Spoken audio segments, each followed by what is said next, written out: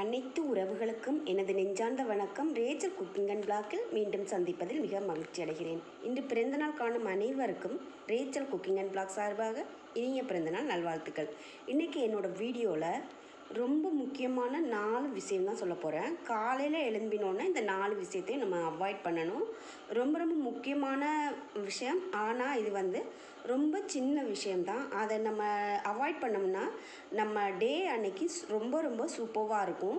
என்ன அந்த முக்கியமான விஷயன்றதை நீங்கள் வீடியோவை ஸ்கிப் பண்ணாமல் பார்த்தீங்கன்னா உங்களுக்கு கண்டிப்பாக தெரியும். அப்படியே என்னோடய சேனலை சப்ஸ்கிரைப் பண்ணி வச்சுக்கொள்ளுங்கள் எல்லாருமே காலையில் எழுமினோடனே இன்னைக்கு இந்த டே வந்து ரொம்ப ரொம்ப ஹாப்பியாக ரொம்ப ரொம்ப சந்தோஷமாக இருக்கணும்னு ஆசைப்படும் அப்படி தான் எல்லாருக்கும் இருக்கும். ஆனால் அது நல்ல நாளாக இருக்கிறதுக்கு நம்ம கையில் தான் இருக்கும் ஃபஸ்ட்டு நம்ம எழுமினோடனே இப்போ என்ன செய்கிறோம் எல்லோரும்?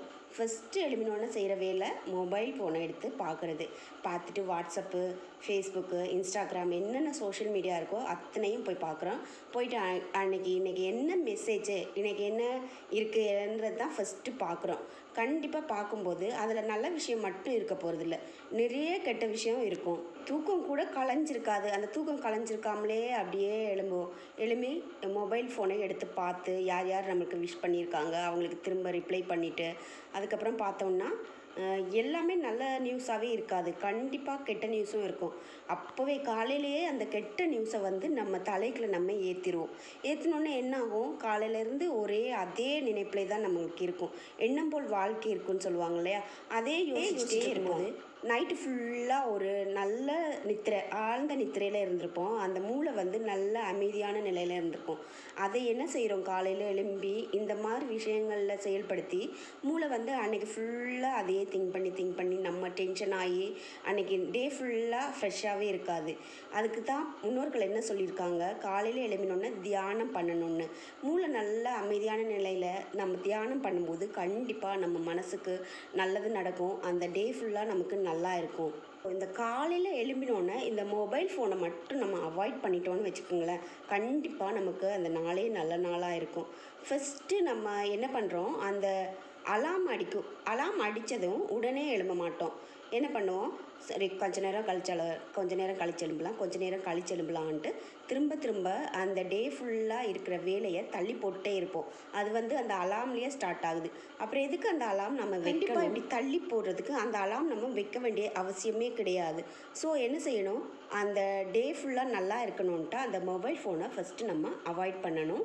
இப்போது ரெண்டாவது விஷயம் ரெண்டாவது விஷயம் என்ன விஷயம்னா காலையில் எழுந்ததுமே நம்ம படுத்திருக்கிற படுக்கை பெட்டை வந்து பெட்டோ பாயோ அதை வந்து அழகாக நீட்டாக மடித்து வச்சுட்டு எழும்பணும். நம்ம என்ன செய்வோம்? ஃபஸ்ட் எழும்பினோன்னா எழும்பி ஃபுல்லாக எல்லா வேலையும் கிச்சன் வேலை எல்லா வேலையும் முடிச்சுட்டு எல்லாரையும் ஸ்கூலுக்கு ஆஃபீஸ்க்கு எல்லாம் அனுப்பிட்டு அதுக்கப்புறம் தான் அந்த பெட்ஷீட் எல்லாம் மடித்து வைக்கிறது பெட்டெல்லாம் தட்டி க்ளீன் பண்ணுறது கண்டிப்பாக இது ரொம்ப ரொம்ப தவறான செயல். நம்ம காலையில் எழும்பும்போதே இதை வந்து பெட்ஷீட்லாம் அழகாக நீட்டாக மடித்து வச்சுட்டு எழும்பினோம்னா கண்டிப்பாக அன்னைக்கு ரொம்ப ரொம்ப நல்ல டேவாக நமக்கு அமையும். நம்ம நம்ம மட்டும் இல்லை வீட்டில் இருக்கவங்க இப்போ அந்த ஹஸ்பண்டோ பசங்களோ என்ன பண்ணுவாங்க? அம்மா அப்பா மடித்து வைக்கட்டும்.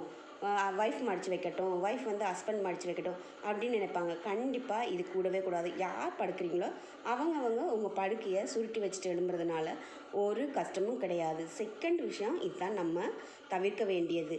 ஃபஸ்ட்டு மொபைல் ஃபோன் செகண்ட் வந்து படுக்கையை நீட்டாக சுற்றி வச்சுட்டு எழும்புறது.